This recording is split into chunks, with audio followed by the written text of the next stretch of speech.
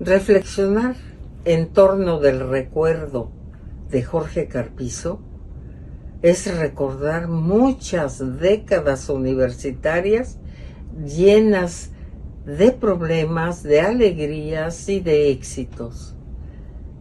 Recordar a Jorge Carpizo también es acordarse del mejor amigo, acordarse del mejor académico y acordarse del líder nato que él era.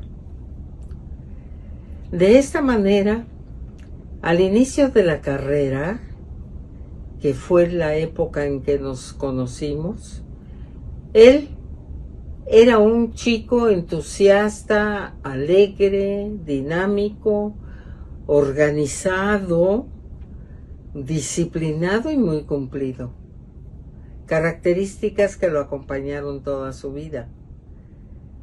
Pasados la conclusión, habiendo llegado a la conclusión de la carrera, en donde él con éxito presenta una gran tesis que también trasciende porque posteriormente siguió trabajando sobre su tema y surge uno de sus libros más conocidos y de más éxito